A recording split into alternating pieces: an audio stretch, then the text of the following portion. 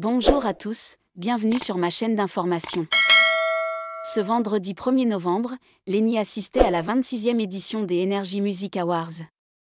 L'ancienne candidate de la Star Academy a notamment fait connaissance avec un autre artiste avec lequel le courant semble être plutôt bien passé. Ce vendredi 1er novembre 2024, les meilleurs chanteurs français et internationaux avaient fait le déplacement à Cannes pour assister aux Energy Music Awards.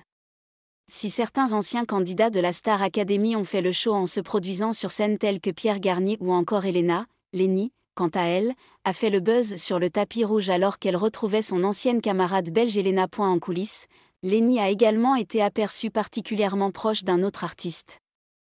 Benson Boone, qui a gagné le prix du hit international de l'année pour son tube Beautiful Things et le titre de révélation internationale de l'année, a en effet échangé longuement avec la jeune femme comme en attestent des publications sur X, anciennement Twitter.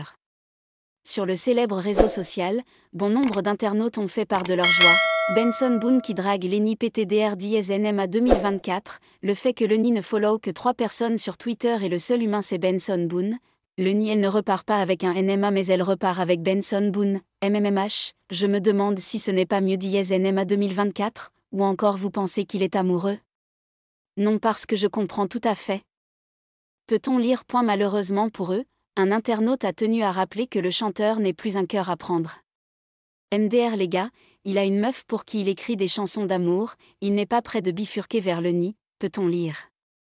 Et pour cause, aux dernières nouvelles, Benson Boone est en couple avec une certaine Maggie Turmont, une personnalité du web et actrice. Créatrice sur TikTok, elle est connue pour ses vidéos de danse avec son père, qui ont remporté un grand succès, et pour leur podcast commun. Parallèlement, Maggie a commencé une carrière d'actrice, apparaissant dans des courts-métrages et faisant un passage dans un long-métrage en 2023 dans le rôle de Zoé Wallace dans la comédie romantique L'autre Zoé. Voilà qui est dit.